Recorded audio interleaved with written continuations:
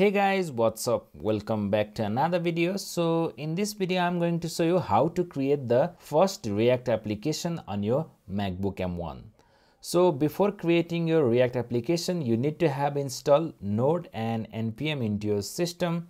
So to check if node and npm has been installed into your system or not just open your terminal. So you can just type command and space to open the spotlight search and search for terminal as well and just type node hyphen hyphen version.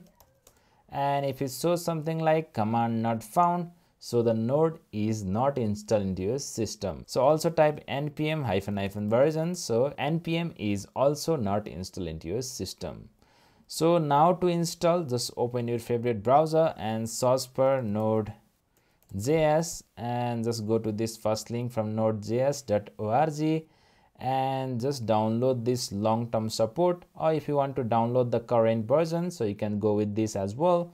So the procedure is similar. So this will start in downloading the package for installing the node.js so once this package is downloaded so let me just show in finder and double click to install. And just press continue continue. And just press agree and click on install.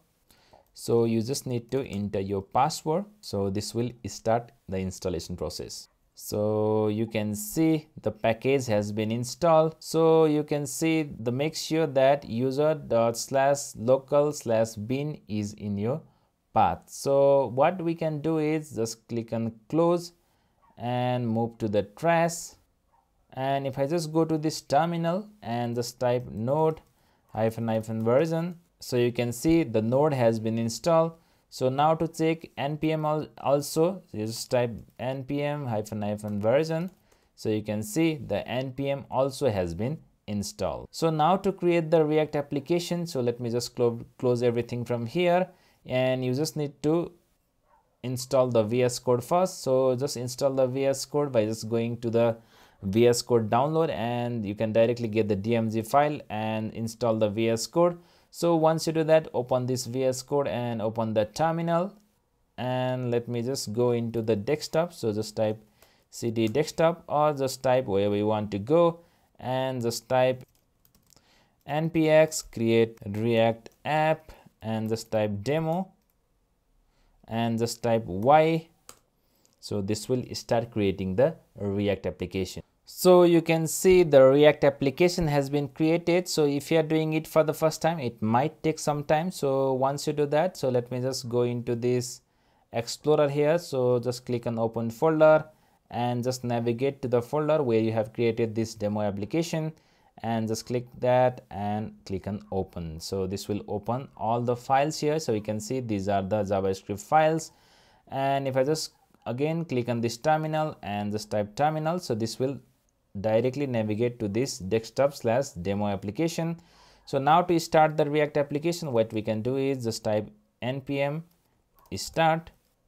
So this will ask us to give the access. So just click on ok. So this will open the react application into our browser. So you can see the react application is running successfully. So if i just go to the vs code again and just go to this app.js here so let me just double click here and let me just clear this content from here. And also let me just remove this logo as well. So we don't need the logo now.